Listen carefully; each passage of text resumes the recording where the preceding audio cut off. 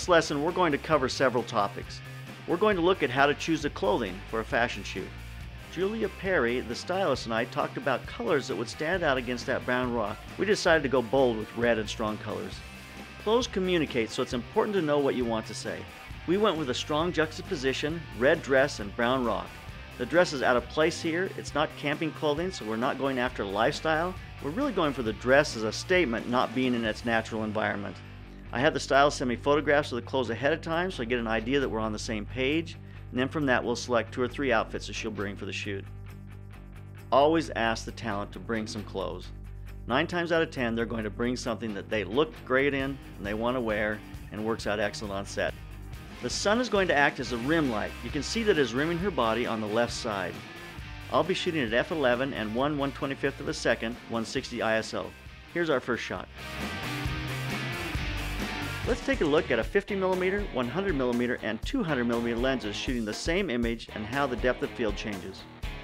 This is a 50mm lens at f22. Pretty much everything is in focus.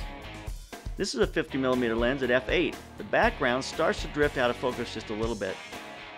This is now a 50mm lens at f2.8. The depth of field has diminished drastically.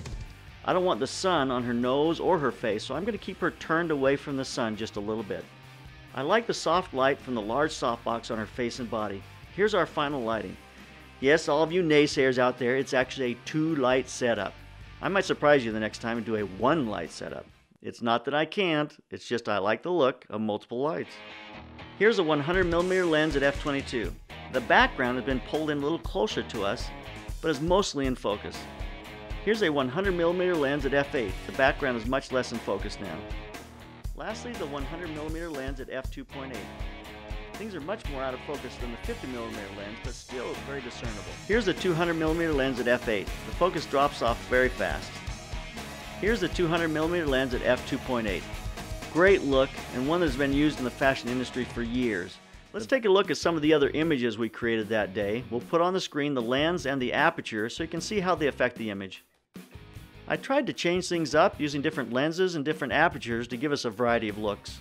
Every time I do a lesson where I stop and look at a basic principle of photography, I learn something. So I hope you've learned something as well.